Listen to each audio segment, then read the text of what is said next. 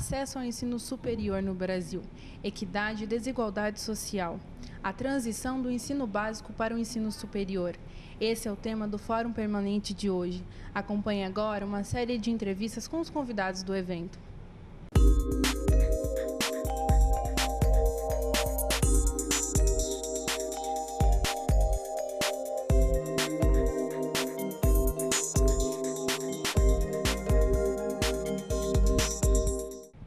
de hoje trata sobre as ações afirmativas e é, é, Brasil como um todo, mas tem um foco especial no estado de São Paulo e, sobretudo, a avaliação de ações afirmativas já implementadas. A importância desse evento, né, não só para a Unicamp, mas para toda a educação superior no Brasil, né, em que se discute o momento, a questão, sobretudo, dessa expansão eh, do ensino superior e do acesso. Né? Quem está entrando nas universidades brasileiras, quem está ficando de fora dessas universidades, eh, quais são os marcadores de diferença né, que operam eh, nas desigualdades de ensino superior e que mecanismos que as instituições de ensino superior, né, eh, e a Unicamp aí é, é pioneira através do PAIS e do Profis, né, de de iniciativas no sentido de ampliar o acesso dos grupos mais vulneráveis é, ao ensino superior, né? como os negros, as pessoas mais pobres, as pessoas, é, enfim, que têm é, menores condições aí na, nesse processo de, de seleção e de ingresso nas universidades. Talk today is about uh, the context for higher education and changes in higher education globally, which are putting pressure on access to higher education. So my talk today, I talk about the, the sociological functions of a university in any given uh, national context. And once we understand the functions of the university, then we understand why there is such pressure on questions of access to higher education. And so I'll focus on, uh, on this question of why access is so important and why it has become even more important now than ever before. Apesar dos recentes avanços, né, assim, acho que quando a gente olha numa perspectiva mais ampla, a educação básica melhorou, vem melhorando cada vez mais crianças e jovens na escola, cada vez mais concluindo o ensino médio. No entanto, a qualidade em termos de aprendizagem ainda, ainda deixa muito a desejar. A gente ainda tem, a gente acabou de divulgar agora um dado bem recente mostrando que apenas 44% das crianças com 8 anos de idade está plenamente alfabetizada. Depois, essa porcentagem, essa parcela de que das crianças, dos alunos que aprendeu aquilo que, o, seria o esperado de aprender em cada série vai caindo. Né? No ensino médio, a gente chega a 10% apenas dos jovens com ensino médio, com, com aprendizagem matemática, de acordo com, com a série. Então, a gente tem tido mais dificuldades em avançar em termos de qualidade no Brasil. É um grande desafio que a gente tem pela frente ainda. E o que precisa mudar para melhorar essa qualidade? Diversos fatores. Né? Isso passa pela formação de professores, de ter mais crianças em tempo integral, da gente ter uma gestão melhor, da gente ter um financiamento mais alto, mais bem gerido e mais bem é, distribuído no país. Enfim, passa por vários fatores, mas precisa enfrentar a situação, porque é, não é algo fácil e precisa da, da corresponsabilidade de toda a sociedade. Nossas políticas afirmativas elas estão em, acontecendo em dois momentos. No primeiro é o acesso, em que nós, durante o processo de seleção dos estudantes, é, por meio do Enem, o Exame Nacional de Ensino Médio, nós concedemos as cotas, as cotas para alunos oriundos de escola pública e os alunos negros, que são pretos e pardos na, na, na, na concepção do IBGE, né? e indígenas. Então nós temos esse primeiro momento que são as cotas que são ações afirmativas. E no segundo momento, nossa política de permanência. Nós temos uma, uma, um investimento bastante agressivo, que eu chamo, na concessão de bolsas e auxílios para que esses alunos mais carentes, né, entra, que entram pelo sistema de cotas, eles possam de fato permanecer e não invadir a universidade. O Profis ele é um programa de inclusão social da Unicamp, foi criado em 2011 e desde o começo a gente tem feito a avaliação do programa é, em termos do, do, seu propósito de educação geral e também de inclusão social em relação ao processo seletivo. O que a gente tem de dado que é muito positivo é que os propósitos de inclusão social eles foram atingidos nessas três primeiras turmas, né, nas turmas que ingressaram desde 2011.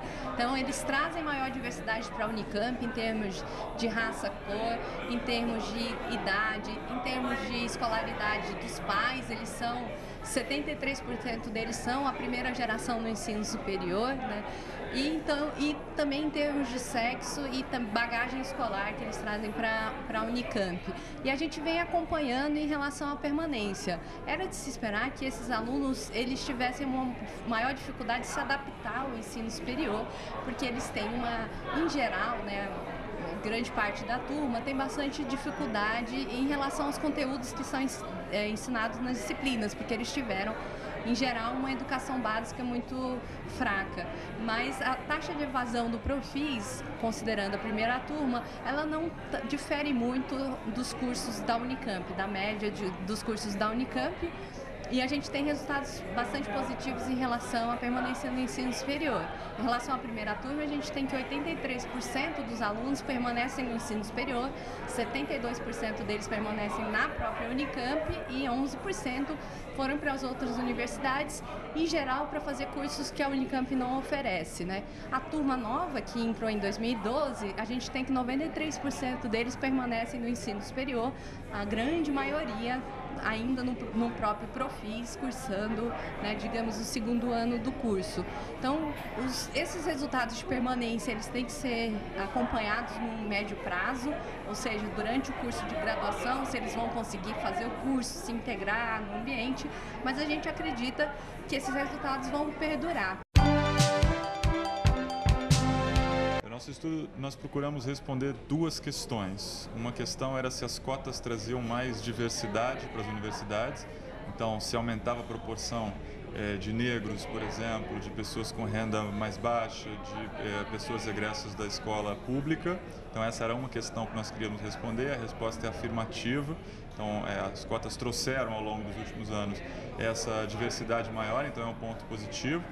A outra questão que nós tínhamos era se por trazer pessoas é, de, digamos, de condição social, de condição familiar mais baixa, se isso representaria uma queda muito grande no desempenho desses alunos ao final da universidade. E a gente avaliou então aí os dados do ENAD, né, esse, esse, exame que é feito, que é aplicado aos alunos que concluem a universidade. E a nossa resposta para essa questão é que nas universidades privadas não existe nenhuma diferença entre cotistas e não cotistas, de beneficiários de ações afirmativas e não beneficiários, a diferença é zero. É, nas universidades públicas existe uma diferença, então os cotistas eles têm de fato um desempenho que é em média um pouco inferior, alguma coisa em torno de 8 a 10% inferior aos alunos que não foram beneficiados, mas nós interpretamos que essa é, diferença não é uma diferença grande que comprometa demais o desempenho. Então não é, digamos, não um preço que se paga tão grande em termos de redução de desempenho para atingir aquele primeiro objetivo, que era o objetivo de inclusão social eh, e de diversidade. É claro que nós não sabemos se, por exemplo, houver uma expansão muito grande das vagas para cotistas, não, não temos como antecipar qual seria essa diferença. Mas nos moldes atuais, pelo menos com esses dados recentes de 2008 que foram utilizados, não parece haver um grande risco de queda na qualidade. Ensino médio no Brasil hoje, ele é um ensino muito tradicional, ele é, ele é muito pesado, ele tem 13 disciplinas obrigatórias ou mais. É, todo mundo é obrigado a fazer a mesma coisa, é? e ele não dá opções. E o resultado dessa situação é que muita gente é, não consegue completar, muito abandono, é, e as pessoas que completam acabam gastando uma energia enorme se preparando para o vestibular ou para o exame nacional, né, onde frequentemente muitos não passam e você não cria alternativas de formação. é que teria que, em todos os outros países do mundo, você tem um leque de alternativas. As pessoas, quando chegam aos 15, 16 anos de idade, elas começam a fazer escolhas. Alguns vão para uma área mais profissional, outras vão para áreas mais acadêmicas, de diferentes tipos. Né? No Brasil, não só você não tem essas opções, como também você não tem espaço para a educação profissional. Ela não cresce. E ela não cresce porque você não. A lei brasileira exige que, se você quiser fazer um ensino médio profissional, você também tem que fazer o ensino médio acadêmico. Isso é uma aberração que só tem no Brasil. Tem que diferenciar, você tem que criar alternativas, você tem que permitir que as pessoas façam, escolham que tipo de curso que elas querem fazer, e você tem. Isso afeta o, o, o, o Enem, porque o Enem, do jeito que ele está hoje em dia, ele, ele é um exame único ele impõe o mesmo tipo de formação para todo mundo que queira ir para o ensino superior, enquanto no resto do mundo você tem diferentes formas de avaliação do ensino médio conforme as opções de cada um. Então, o, o, você tem que mudar, mexer na legislação do ensino médio, tem que abrir alternativas, permitir que as pessoas se aprofundem, se especializem, abrir um espaço para a formação profissional e mexer no sistema de avaliação do, do, do secundário, que é o Enem.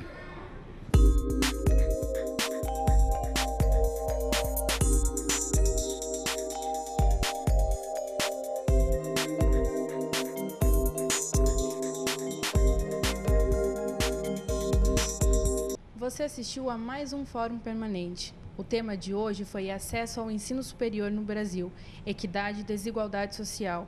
O evento foi organizado pelo NEP da Unicamp. Você acompanha esse compacto de entrevistas pelo canal 10 da NET ou pelo site da RTV. Acesse rtv.unicamp.br. Nos vemos no próximo fórum. Até lá!